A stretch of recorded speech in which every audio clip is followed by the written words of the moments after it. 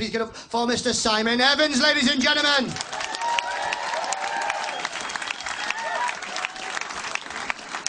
Thank you. Thank you very much. Good evening. How are you all? You're well?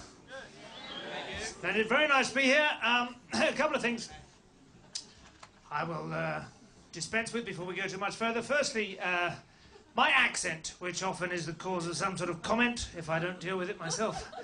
and uh, so I will tell you if you are struggling to place it, that is in fact educated. Uh, yeah.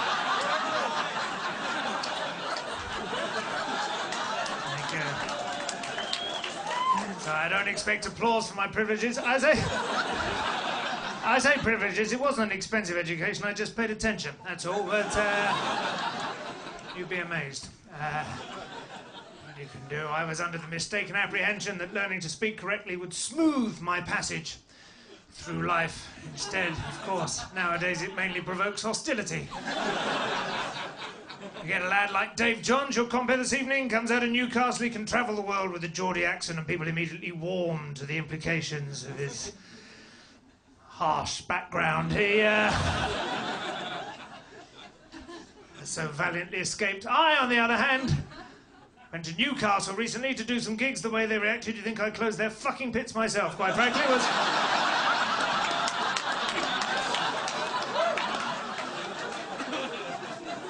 Explicit hostility.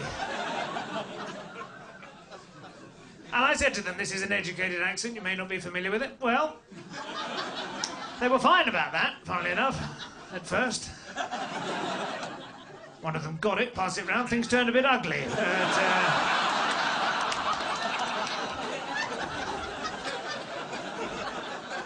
I was halfway home by then, so that's all right. It, it was a three-night engagement, but I thought it best to go home. Each, each night it's only a couple of hundred miles each way. You don't want to be taking a chance with a hotel room up there, do you? Uh, I went back the following night. They trashed the place, apparently. Looks exactly the same to me, I have to say. Rubble is rubble at the end of the day, isn't it? You move it about a bit to express your frustration. It's, it's more feng shui than vandalism, really, isn't it? It's, uh,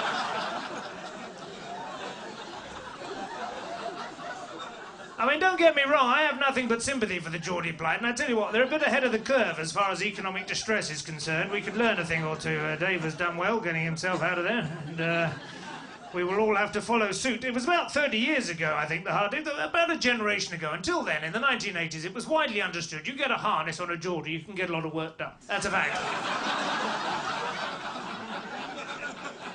That simple mechanism had underpinned the northeastern economy for centuries. But nowadays, you are no longer allowed to harness Geordies. Not without their express written permission, anyway, so that's obviously a non starter. They didn't think that one through in Brussels, did they? No. Meddling Eurocrats. I'm sure it amused them a great deal to dress Geordies up in suits and make them work in cubicles. They don't like it. Call centres. It's no work for Geordies. They're outdoor people.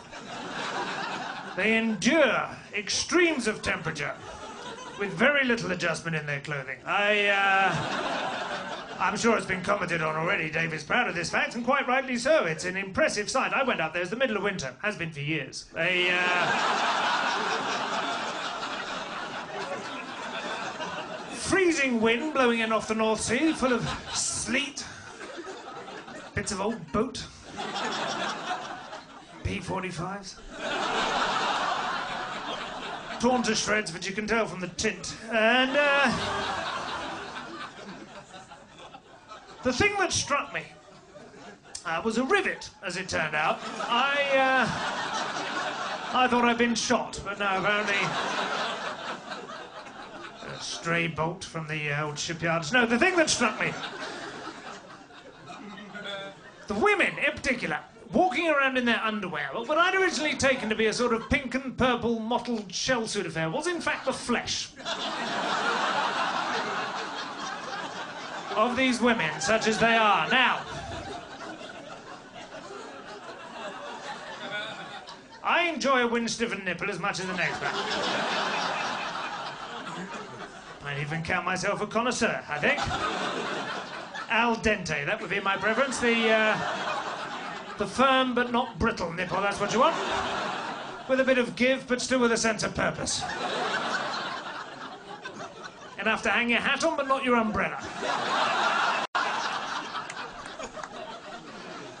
I actually used to write pornography for a living. It uh, wasn't terribly erotic, but it was detailed, and I like to think. All I'm saying, I think once your cleavage has gone the colour of Stilton, it's time to dress up a bit. I was. Uh... I was in a bar. I heard a woman say to her friend, Don't wear your bra in here, you won't feel the benefit when you go out.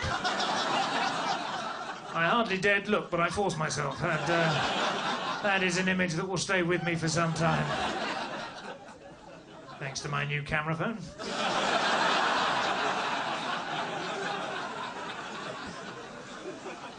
The trick is to look as if you're texting. I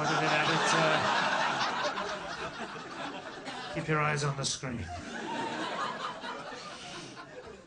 The funny thing is, they like uh, shopping for clothes. They enjoy the shopping, uh, the retail experience, the retail therapy, the, the, particularly the out-of-town retail parks. These uh, vast, sprawling, sort of, Matalan, for instance, would be an example of this kind of phenomenon. And I, I'm a, I have an eye for a bargain. Believe me, I thought I'd go in and have a look.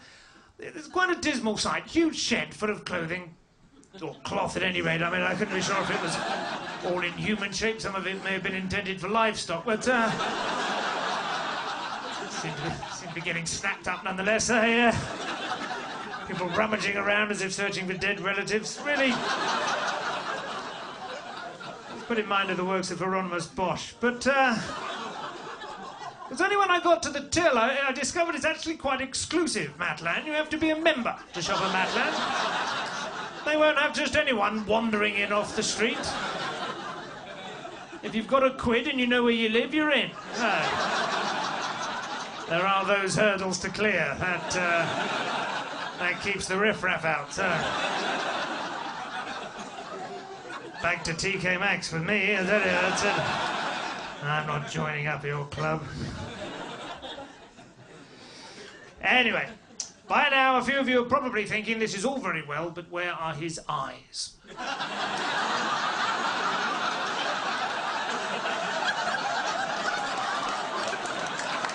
Thank you.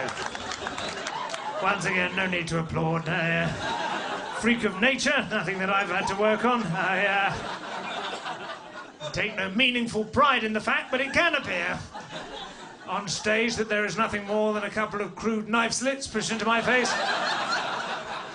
like some sort of gingerbread man or uh, perhaps a child's pottery project. Spent a bit too long on the nose, ran out of time, just jabbed a spatula in for the eyes. That'll do.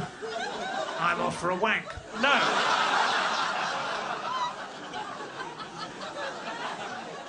Girls will be girls. I, uh...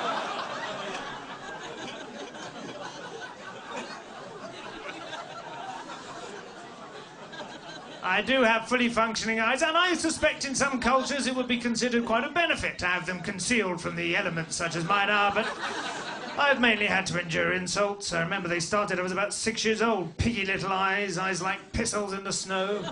Seen bigger eyes on a potato. Mother could be very cruel. Still, she's in a home now.